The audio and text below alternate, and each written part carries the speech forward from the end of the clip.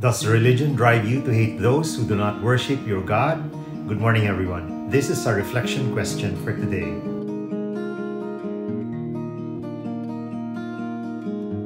There was much debate within the walls of the Vatican regarding Polish priest Maximilian Kolbe's canonization. No one doubted his holiness. Rather, the question being debated centered on whether or not he died a martyr's death or a tragic death. During the German occupation of Poland, he was arrested for a number of anti-Nazi German materials published by his monastery. Father Kolbe and his community also helped hide, feed, and clothe 3,000 Polish refugees, half of them Jews, in their monastery.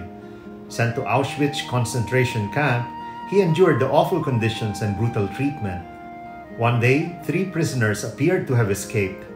The deputy commander ordered 10 men to be chosen to be starved to death in an underground bunker.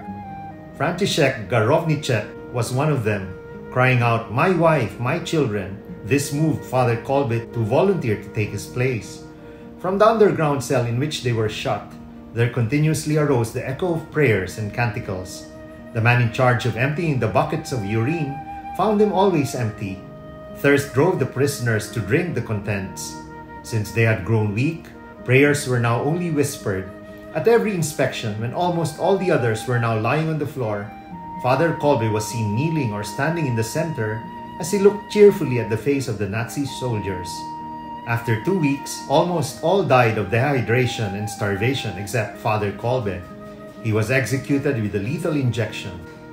Pope John Paul II entered the debate on his canonization and put an end to this by reminding members of the congregation in charge of such matters of a simple question that was asked that fateful day.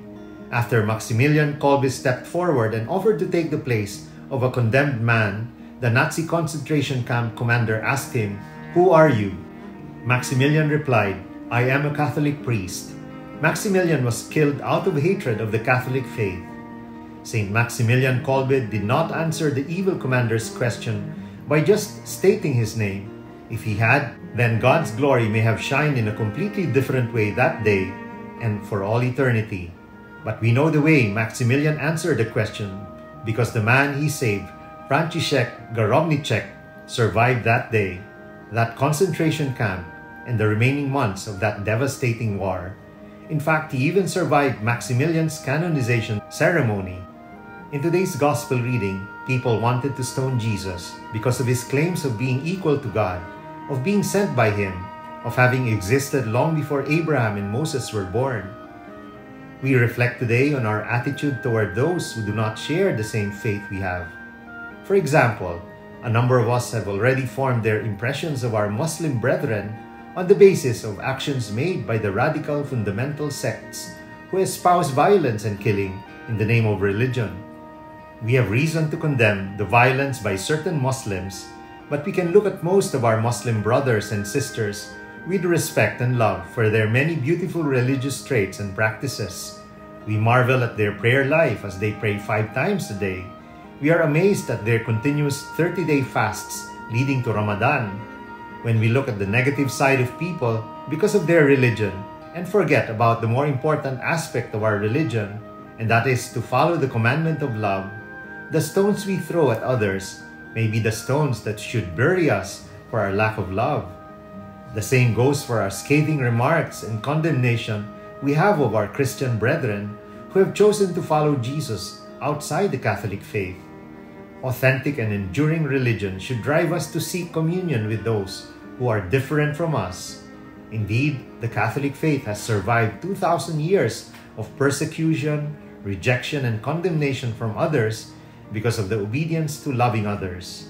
If we desist from loving, the silent disease of hatred could lead us to sin.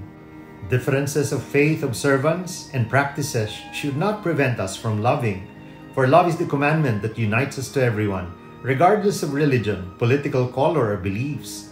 Let this Lent bring us to that higher plane of faith through our love for one another. Who are you? The question asked of Jesus and St. Kolbe is a question we need to answer too. We are more than our name. We are followers of Christ to continue to proclaim God's love for the world through our own witnessing. With the help of the Holy Spirit, we can give life to those who have been crucified in the name of religion, through our words, our prayers, and our actions, we can be life givers even to those who wish us harm. Let us pray. In the name of the Father, and of the Son, and of the Holy Spirit. Amen. Heavenly Father, I have no claim to be a faithful follower of yours if I do not love those who are different from me in attitudes, behavior, and perspectives. Help me to love all, and not only those who are similar to me, for you have shown that in Jesus who loves everyone. This I pray in Jesus' holy and mighty name. Amen.